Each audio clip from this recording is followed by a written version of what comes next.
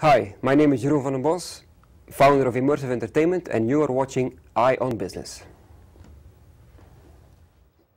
Welcome to Eye on Business. I'm Kevin McDonald, and with me tonight is Jeroen van den Bosch, and he is the founder of Immersive Entertainment, one of the coolest virtual reality programs companies out there. And I'm going to talk with him tonight about his new company. Thank you so much for Nice coming in you, man. tonight. So, um, first of all, let's for those that don't know what virtual reality is, because believe it or not, there Mm-hmm. are some folks out there. Why don't you give us a quick background on what it is? Um, virtual reality is actually um, the ability to um, convince your brain that you're in another place, Okay. right? So as soon as you, um, most of the time they use head-mounted displays, which is actually a sort of, uh, it looks like a ski mask, like ski goggles. So you put it on, and it replaces your entire field of view with with a computer-generated image. Got. So if the immersion is high enough, your brain believes that the virtual world is actually the real world, and that's when the magic of virtual reality happens. So we're using a visual mask to basically convince ourselves we're somewhere other than where we are. Yes, so the mask has actually a display inside.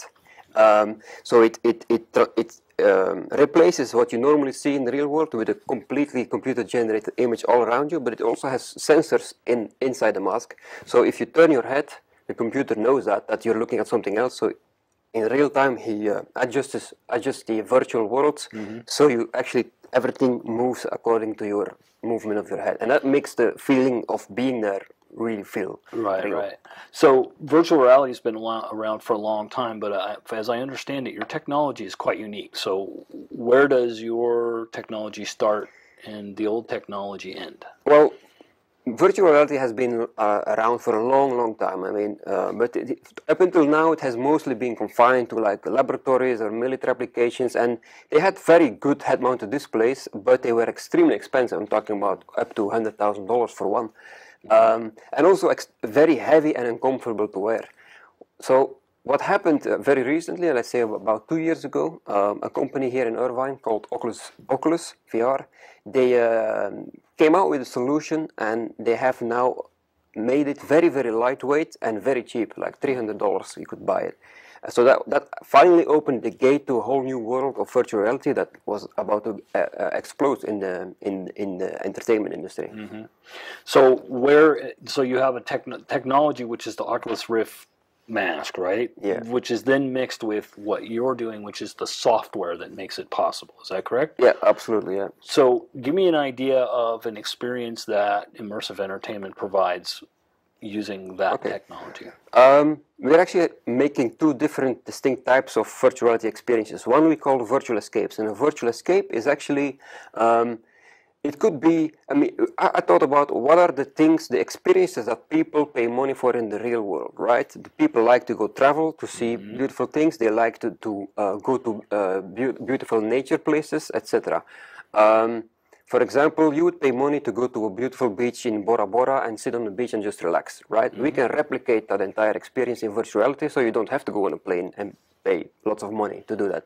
So we, we can put you on, on a beach, so you will really feel like you're sitting there. You sit on the beach, or you look everywhere around you. You see the beach, you see in the ocean in front of you. You see dolphins, dolphins jumping over the uh, over the waves, uh, and uh, everything looks and feel like you would be really there. That, so that could be one escape, but it can also be more fantastical because it's virtual reality. Anything is possible. For example, uh, as a boy, I always dreamt uh, about how cool it would be if you would uh, be driving the moon buggy on the surface of the moon. We can replicate that, and we can really give put you inside the moon buggy on the surface of the moon, and you will have a great time. So those are like the little small virtual escapes that we're working on.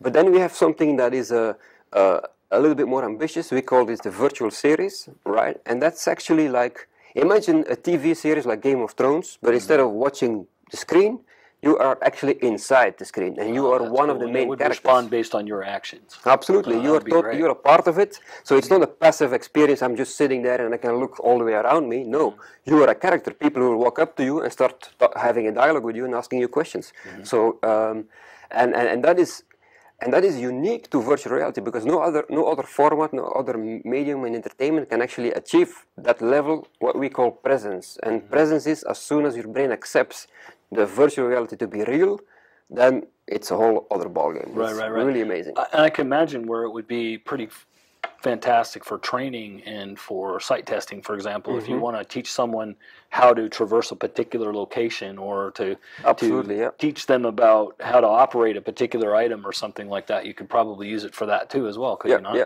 There are companies right now, for example, um, um, in the oil companies, they have to go to very remote locations to set up a new uh, dr- uh, drilling platform. Mm-hmm. So before they go to these remote uh, locations, they train their engineers Yeah, exactly. in the cities in virtual reality, so they don't have to train them in a very barren location somewhere in the middle of the tundra. Right.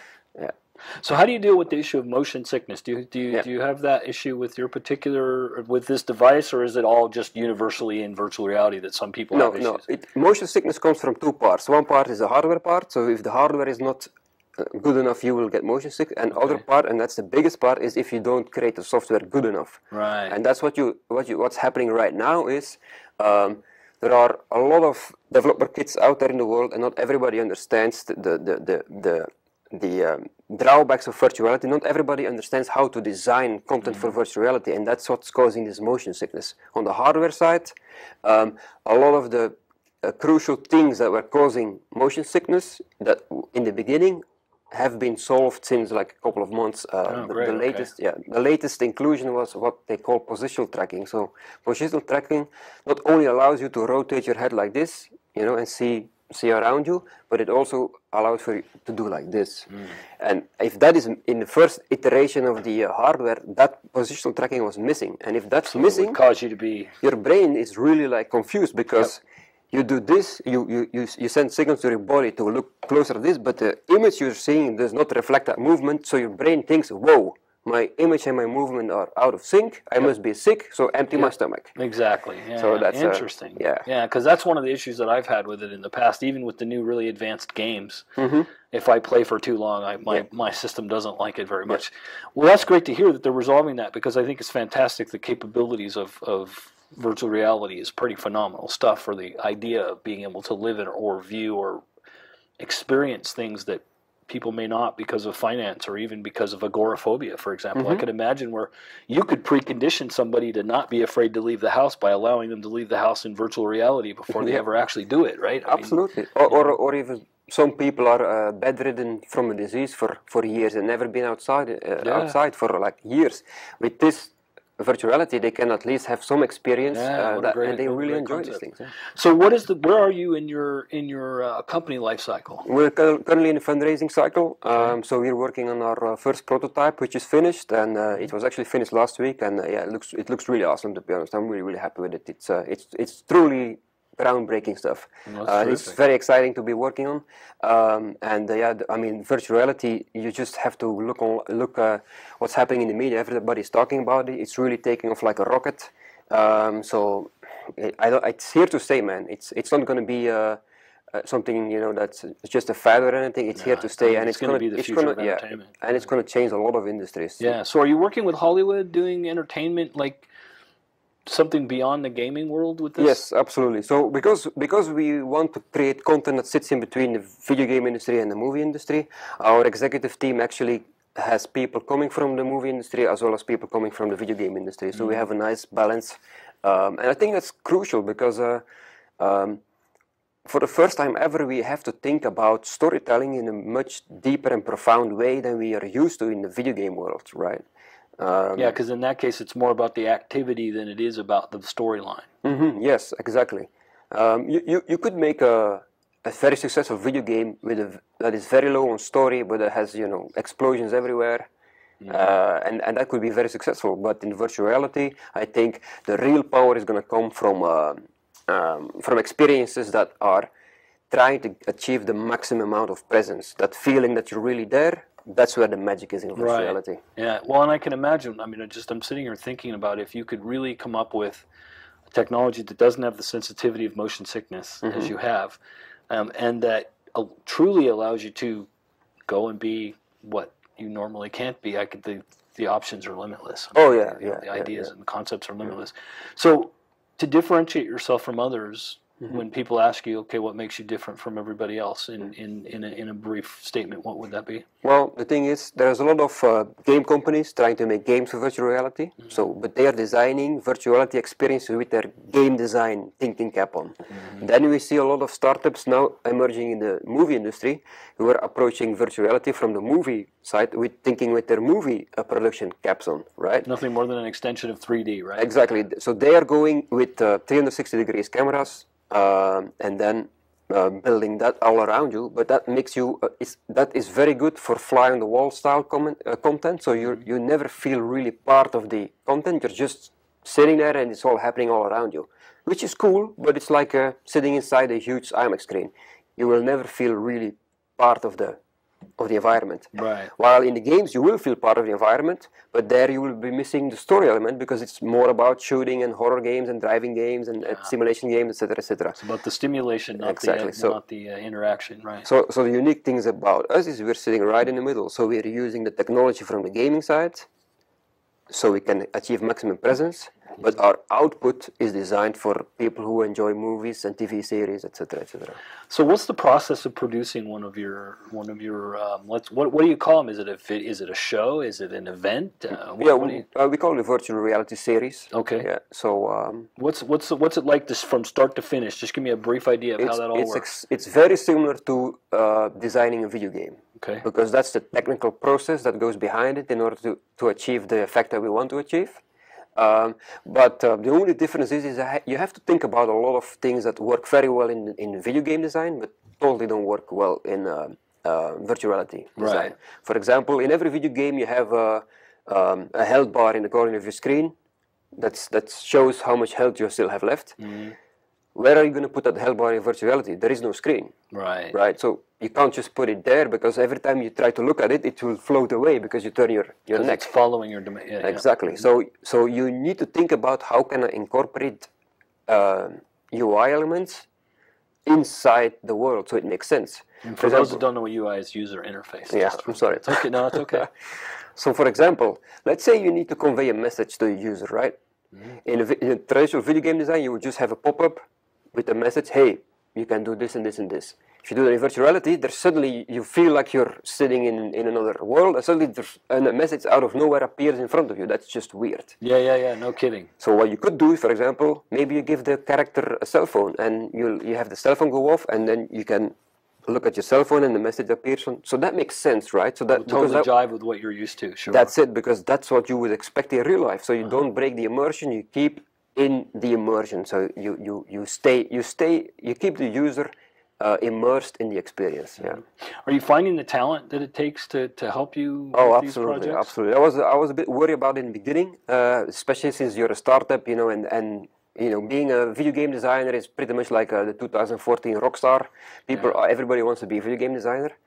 Um, but the thing is, all these video game designers, I mean, the very talented ones, which who are very experienced, they have been doing this for like, they have been designing machine guns and soldier uniforms for 20 years. They are hungry to do something different. Wow. And so when they when I talk to them and, and I say what immersive entertainment is doing, they get very excited. And it took me it took me a week to assemble a team of five really really talented veterans from the game industry, and it's with those people that I, I create we created our first uh, uh, prototype now. I think it's a great combination of what kids seem to want to do, which is to be involved in entertainment, but yet be in the high technology world where the money really is. So it's, a, it's a good mix. And I know that virtual reality, and then if you combine that with robotics, good God, I mean the the, the uh, you know capability to make a good living in the future seems like it's pretty substantial, is it not? Absolutely, I think. Uh, this is just the tip of the iceberg, eh, guys. Uh, this is vir- the virtual reality hardware you see now. That is like the first cell phone, which was my father had one of the very first cell phone. It was it was this tall, I had and one it had briefcase, super bad yeah. Motorola, super Yeah, bad yeah. reception. Um, so if you look at it like that, you know that five years from now we're going to be so much more advanced, and and it, uh, and in ten years from now, I doubt we will be able to uh, to feel the difference between real life and virtuality, and that's gonna that's gonna you know cause some serious questions. Of, You know what's gonna happen then, but Sure. Well, maybe what we'll do is we'll come out and take a look at your at what you're doing, and and uh, maybe share a little bit of that with the audience here. With Oh, yeah, not giving away your IP. No, no, no, Um, and I absolutely. really want to thank you for coming Thank in you. today. And I do want to ask you right now if you'd be willing to come back in the future. Yeah, absolutely. All right, Yeah, fantastic. would Thank you to. so much. Thank you.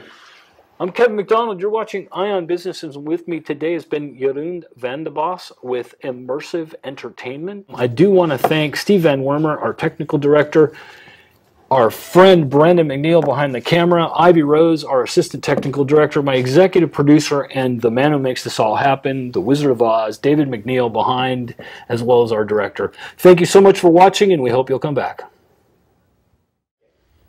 Hi, I'm Jeroen van den Bosch, founder of Immersive Entertainment. If you want to know more information about our company, you can go to our website, which is uh, www.immersiveent.com.